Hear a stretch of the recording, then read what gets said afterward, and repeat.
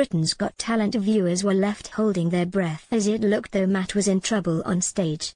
The 43-year-old had his head locked into a box filled with water with his body bound in a metal straitjacket as he set about trying to pick locks to free himself in time.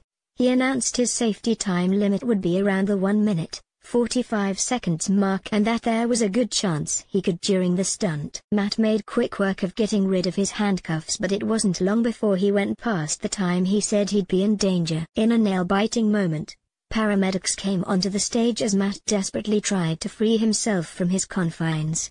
However, he eventually managed to free himself at the 2 minutes, 21 seconds mark, much to the relief of those watching. Amanda Holden was visibly shaken as she said, Oh my god I really hate it. I hold my breath with you for the whole thing.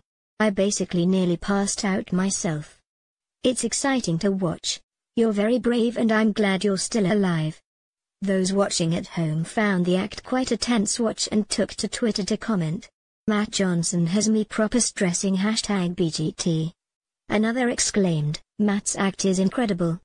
He scares the CP out of me lol but what he does is so impressive. Wow. Hashtag BGT Hashtag Britain's Got Talent One viewer confessed, Christ, Matt Johnson stresses me out in a weirdly addictive way. Hashtag BGT, a third declared, Hashtag BGT that man scares the life out of me.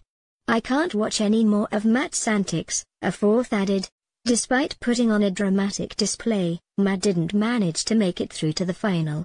The votes went to singing group D-Day Darlings and comedian Lost Voice Guy who will be part of the live show on Sunday.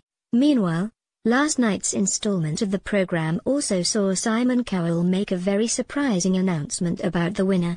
He said, I, they don't know, not even the producers know. I've got a surprise for the winner at the end of this series. Surprised, host Declan Donnelly gushed, amazing. Simon continued, not even know. Britain's Got Talent continues tonight at 7.30 pm on